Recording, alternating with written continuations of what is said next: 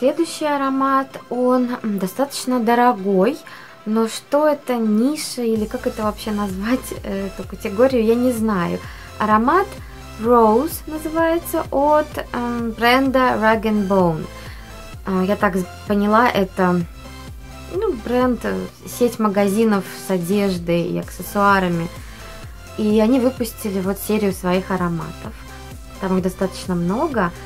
И я выб... не то, что выбрала, я увидела за 3 копейки, так сказать, аромат с названием Rose. И, конечно, схватила его. Но потом я посмотрела и узнала, что аромат достаточно дороговастенький.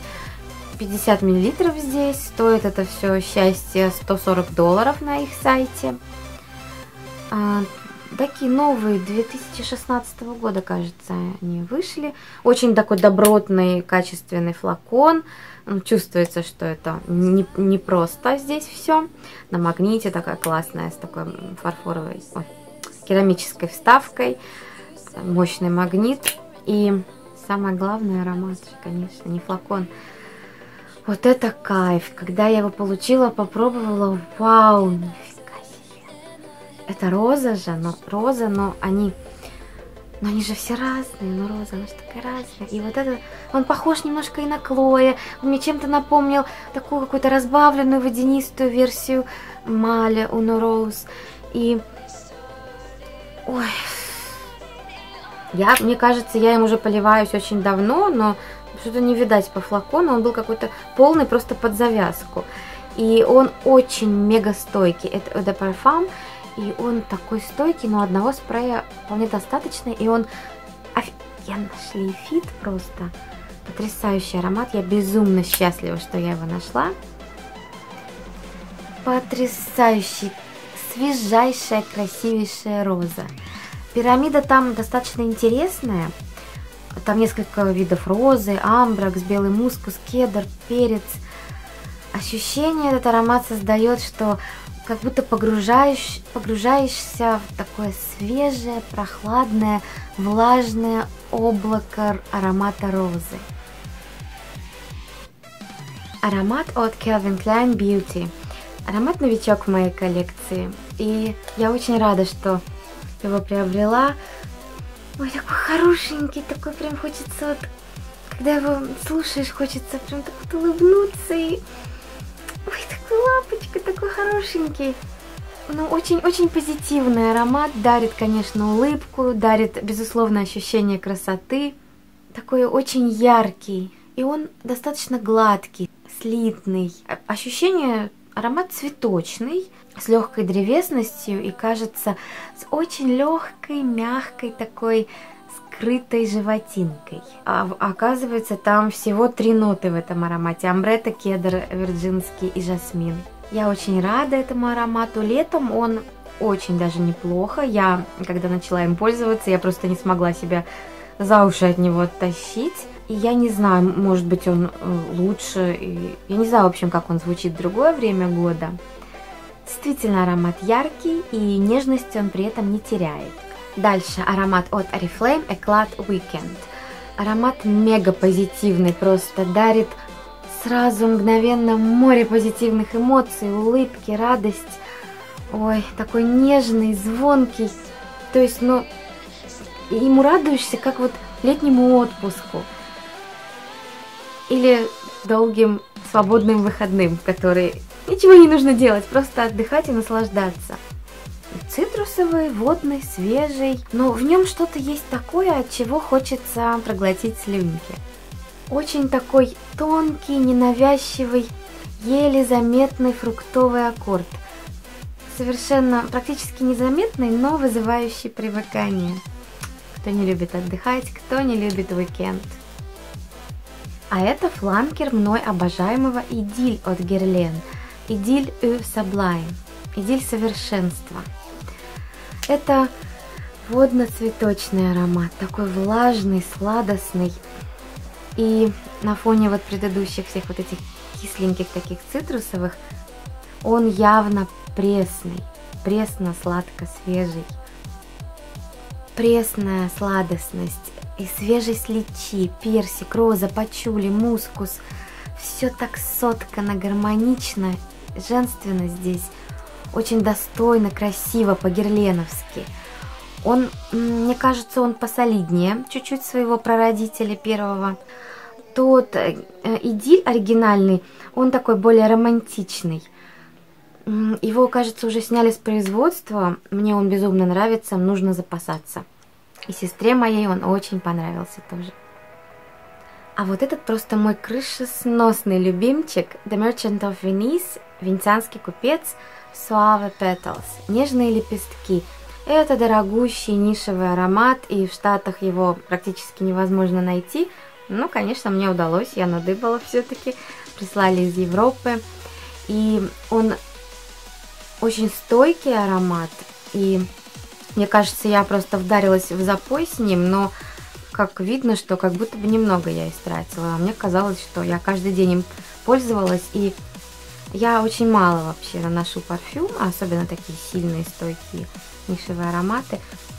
Но это просто, это такая у нас с ним мега любовь случилась. Я недавно его вот весной для себя открыла. Уже даже запаслась еще одним заранее флаконом, потому что, ну, это какая-то нереальная красота. И когда говоришь об аромате, это аромат нежного весеннего розового цветения.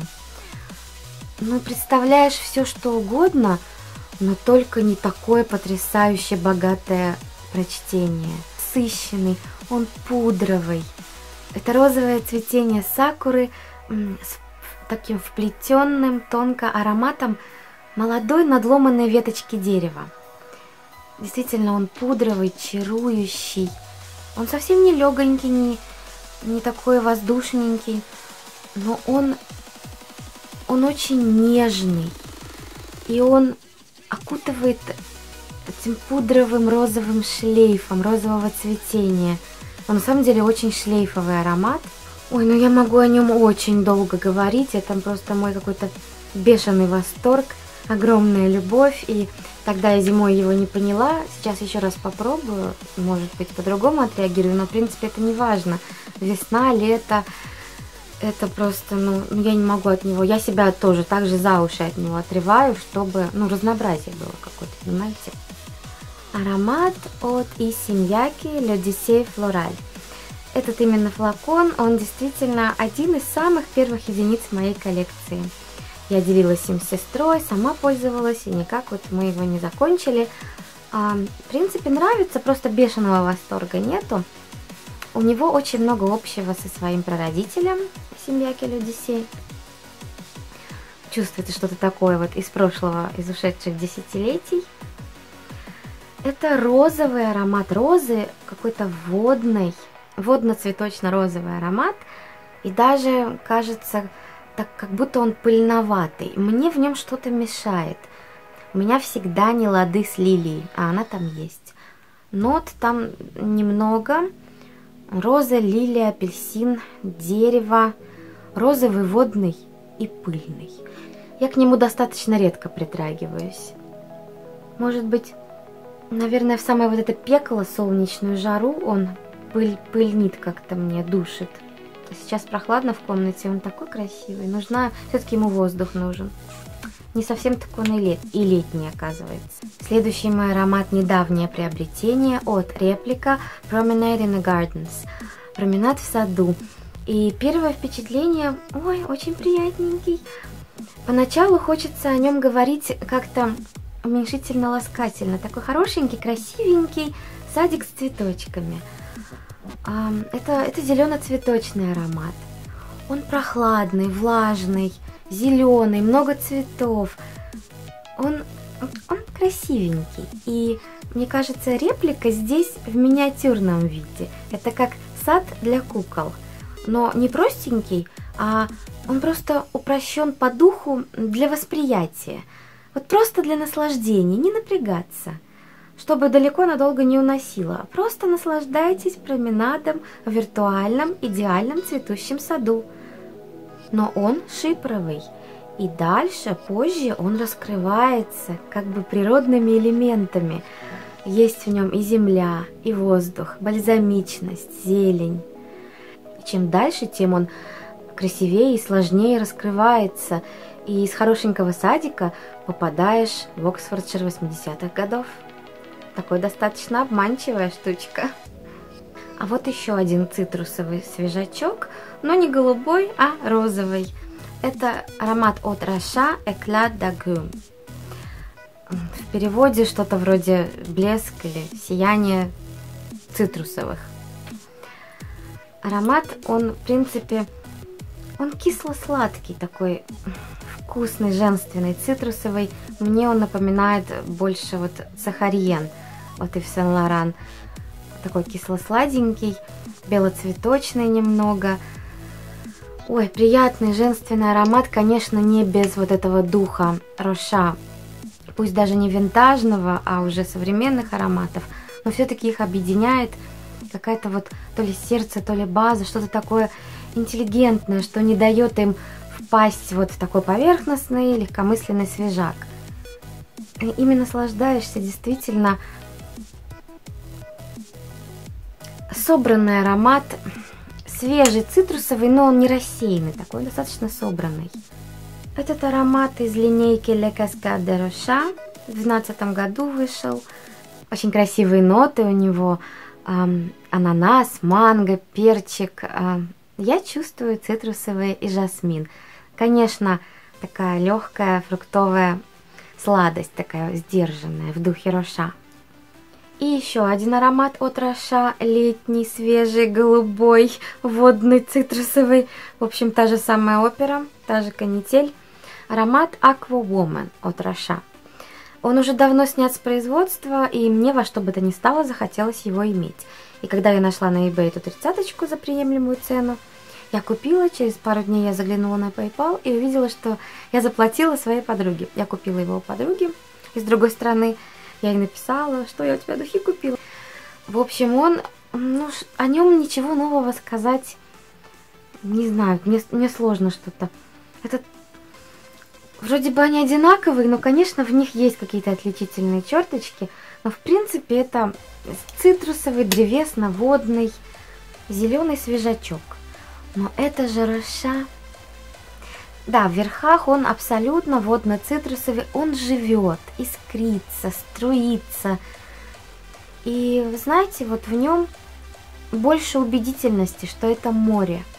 Это голубая, чистейшая, свежая пучина. А в базе, в базе он, конечно, с присущей ароматом Роша легкостью, глубиной, главной интеллигентностью.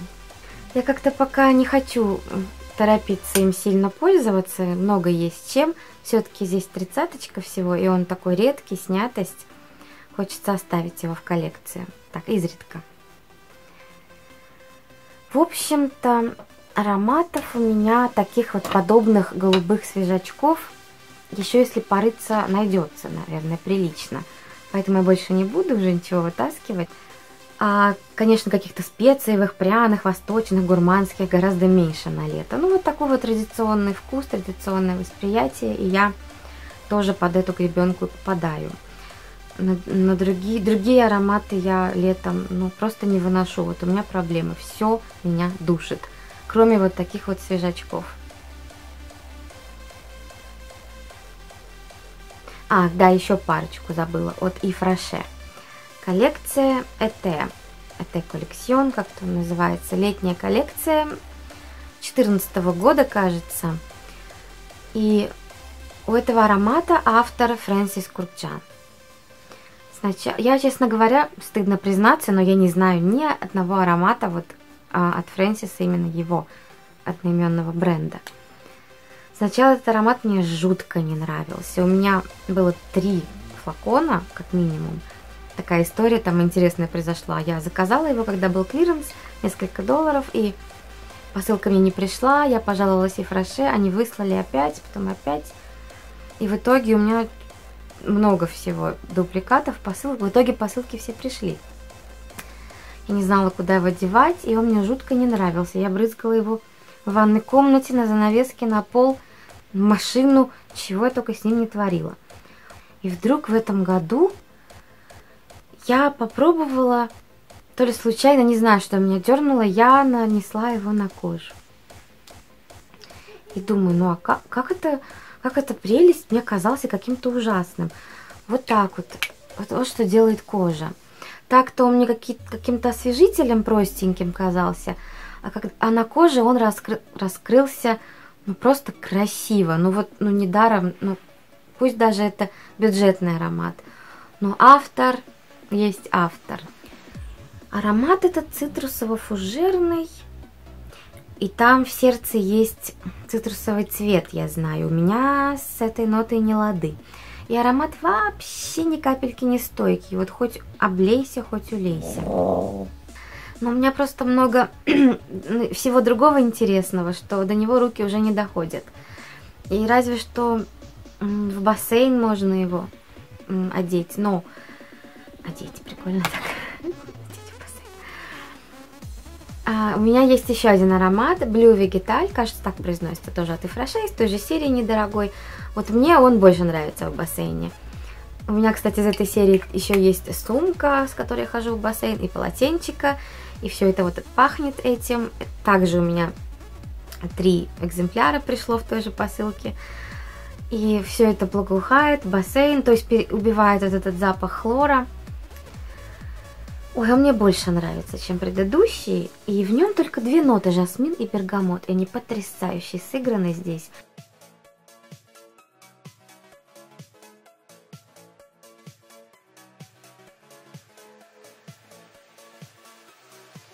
И еще один маленький ароматик, который мне очень приятен летом.